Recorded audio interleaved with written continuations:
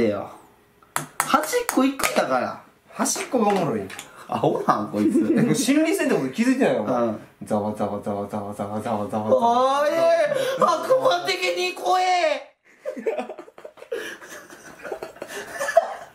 悪魔的に怖いってなんだ何も何も食べてないからさあなるほどね怖かった